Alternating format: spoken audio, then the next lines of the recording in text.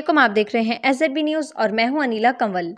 ननकाना साहब, Pakistan peoples party के सबक M P A Barkat Ali गयोर, advocate की पंद्रहवीं बरसी डिस्ट्रिक्ट बार रूम ननकाना साहब में अकीदत एहतराम से मनाई गई। देखते हैं ननकाना साहब से मलिक जाफ़र की रिपोर्ट। बरसी में जजीज़ बुकला मीडिया नुमाइंदगान सिविल सोसाइटी ने शिरकत की। बरकत अली गयोर पीपल्स पार्टी के नजराती कारकुन थे, जिनको पीपल्स पार्टी के परचम में दफनाया गया और इनकी कबर पर भी पार्टी का परचम बना हुआ है। बरकत अली गयोर को जमहूरियत की बहाली के हक में जुलूस निकालने की पादाश में जया के मार्शल दौर में मिलिट्री कोर्ट ने नौमा कैद मुशक्क़त और दस करोड़ों की सजा दी थी। मुकर्रीन ने अपनी तकरीर में मरहूम को ज़बरदस्त खराज तहसीन पेश किया।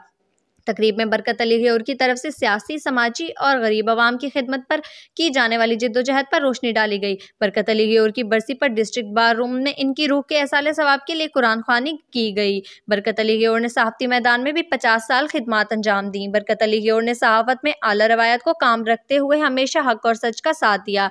बरकत अली गौर ने बतौर नुमाइंदा जंग, जियो न्यूज़ ननकाना खिदमत अंजाम दी। बरकत अली गौर गरीब और मुस्तक साइलिन को फ्री लीगल एड फराहम करते रहे।